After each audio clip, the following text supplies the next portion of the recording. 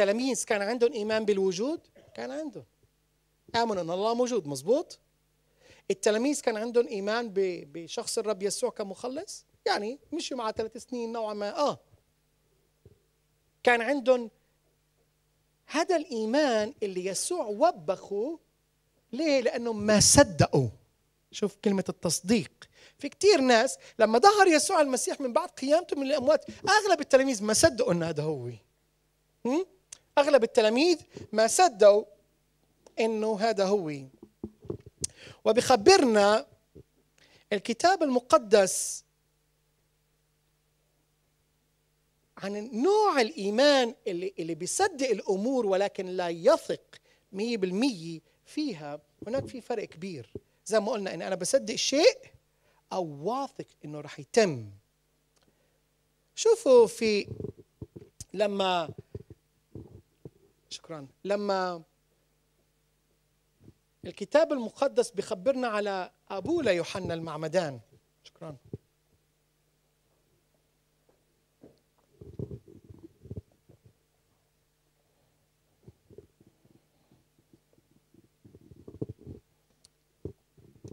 لما الملاك بشروا إنه اليصابات راح تحبل هذه المدعوة عاقرا. كان مستحيل تحبل. خبرنا كان الكتاب إنه كان يكهن كان الدور عليه إنه يكهن في في قدس الأقداس وفي خيمة الاجتماع سوري وبقول الكتاب في في إنجيل لوقا الإصحاح الأول عدد 20 لأنه لما خبروا الملاك إنه مرته رح تحبل ما صدق. شوف شو صابوا بعد نعرف كلنا إنه انخرس. لدرجة لما طلع لبرا شافوه إنه خرس كان جوا يخدم ويبخر ويكهن لله ولكن طلع من الخيمة أخرس. الناس عرفوا إنه ظهر له شيء قالوا ظهر له ملاك أو رؤيا. ولكن شو ملك الرب؟ قال له في آية عشرين ها أنت تكون صامتا ولا تقدر أنت تتكلم إلى اليوم الذي يكون فيه هذا لأنك لم تصدق كلامي الذي سيتم في وقته. لأنك لم تصدق. الله بطلب مننا يكون عندنا إيمان أنه منصدق الأمور اللي الله بيتكلم فيها ولكن إسا رح أنتقل لإيمان آخر هو ده أسميه الإيمان الذي يثق. وبدي أشوف هذا في رسالة العبرانيين إصحاح 11 وبدي أخبركم الفرق بين إن أصدق الشيء وأثق في الشيء. عبرانيين إصحاح 11 والآية الأولى. شوف هذا النوع من الإيمان. أما الإيمان فهو الثقة بما يرجى والإيقان بأمور لا ترى. هذا الإيمان وإيمان يختلف جدا عن الإيمان أو أنواع الإيمان اللي تكلم عنها لأنه إيمان يثق. شو يعني يثق؟ الإيمان مش أنا بدي عملت فرق بين يثق ويصدق لأن كلمة ثقة شوي أكثر من صدق. يعني صدق بتصدق إنه آه، أبوك منيح؟ آه بصدق.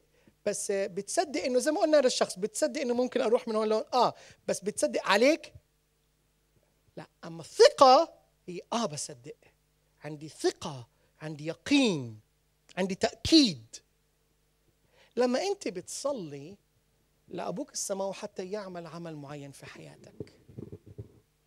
لازم نثق. هذا بينقص الكثيرين فينا. أغلبنا كمؤمنين مولودين ولاية بنصدق كل أمور الله بنصدق كلمة الله. بس مش أغلبنا في عنده ثقة عمياء فيما تكلم به الله. يعني أعطيك مثال. لما بتيجي بتصلي لأجل شفاء أغلبنا بنيجي بنقول يا رب اشفيني يا رب ساعدني يا رب غيرني يا رب يا رب يا رب. وليش بنيجي؟ لأنه إحنا بنآمن إن الله قادر أن يعمل هذه الأمور. ولكن لما بتقول لإنسان طيب بيجيك إنسان مثلا مشلول على عرباي إذا أنت مآمن أن يسوع بيشفيك وجيت لهون بيحتاج إيمان ثقة تقول له وقف وامشي. مش إيماني أنا إيمانه هو. كم يسوع قال النزفة الدم قال إيمانك قد شفاك الكتاب المقدس بخبرنا عن عشر برص. اجوا عند يسوع كان مرض البرص. مخيف جدا. جلدهم بلش يقبع و حالتهم غريبة. لدرجة الناس كانت تقرف منهم وكان كان الأبرص كان في وصية ممنوع يمشي. إذا بشوف شخص بالشارع لازم الأبرص ينتقل للشقة الثانية حتى ما يعدي وحتى كانوا يعتبروه نجس كمان وكأنه لعنة من الله. هدول العشر بورس إجوا عند يسوع طلبوا منه الشفاء. تقدر أن تشفينا عشرة. شو بخبرنا يسوع عمل؟ صلى لهم؟ لا. دانهم بالزيت؟ لا. أنا عارف شو أخرج منهم روح البرص؟ لا. شو قال لهم؟ قال اذهبوا أروا نفسكم للكاهن. ولا الكتاب وبينما هم ذاهبون برئوا. تعرف شو يعني يسوع عمل؟ ولا صار إشي. قال لهم بس روحوا. ليه تورجوا حالكم للكاهن؟ لأنه الكاهن في البرص هو كان الشخص المفوض اللي بيقرر إذا كان هذا الإنسان بعده أبرص ولا شفي. بدك تشفى؟ قال له بسيطة روح ورجي حالك للكاهن. طب بس أنا بعدني أبرص كيف بدك أروح؟ فكروا فيها. أنا بعدني أبرص. كيف بدك أروح أورجي حالي؟ شو بدي أروح أقول له؟ شوفني ما أنا بعدني أبرص أنا شايف حالي. لكن الكتاب بيقول وفيما هم ذاهبون. يعني هالعشر برص كان عندهم إيمان إنه باللحظة أخذوا الكلمة أخذوا كلمة اللي طلعت من فم يسوع صدقوها ووثقوا فيها. عشان هيك بلشوا يمشوا ناحية الكاهن وهن في الطريق صاروا يطلعوا على حالهم إنه شفيوا هذا الإيمان نحن بنحتاجه. ها؟ وبنحتاجه لامور حياتنا اليومية. في أي موضوع بتصلي له أي موضوع تثق فيه أي موضوع تطلبه خلي عندك إيمان وثقة. بتصلي لأجل ابنك بتصلي لأجل بيتك بتصلي لأجل مرتك بتصلي لأجل شيء. تعرفوا شو حتى مرة أخت بتقول لي أنا بآمن باللحظة المحتاجة حتى أوقف سيارتي بحنيا بيكون كل الشارع مليان في سيارات. أنا عندي إيمان لما أنا بصل هناك رح يلاقي خنية. وبتقول لي فعلا بلاقي خنية. ومش غلط تامنوا بهي الطريقة البسيطة. بس أكيد مش المطلوب مننا نبدأ ندور على خنيا مش هذا هو الإيمان بس بإمكانك تمارس الإيمان. تمارس الإيمان بالأمور البسيطة. تمارس الإيمان إنه الأمور لما إحنا بنتعلم ونتدرب لما اجى التلاميذ قالوا ليسوع قالوا له إيش؟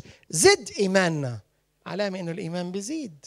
ها أمين؟ الإيمان بيزيد. ونحن بدنا إنه يزيد إيماننا. شوفوا آه، يوحنا الأولى الإصحاح الخامس رح نقرأ كمان آية من هناك والآية 14 بقول وهذه الثقة شايف؟ هنا كلمة شيء شوي يختلف عن إيش كنا نقرأ قبل.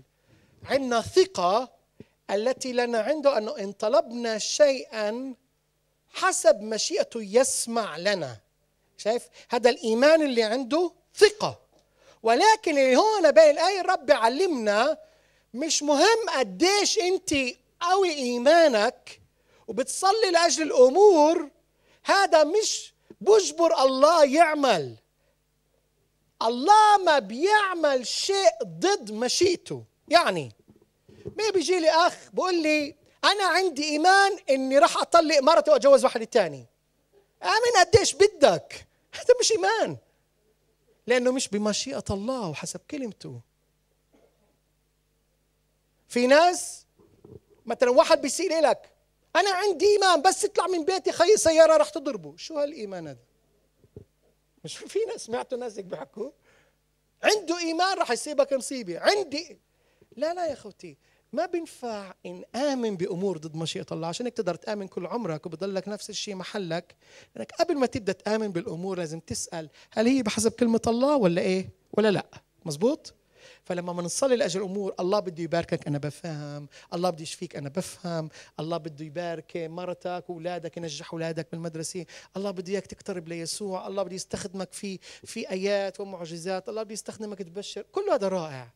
بس هذا كله بحسب كلمة الله.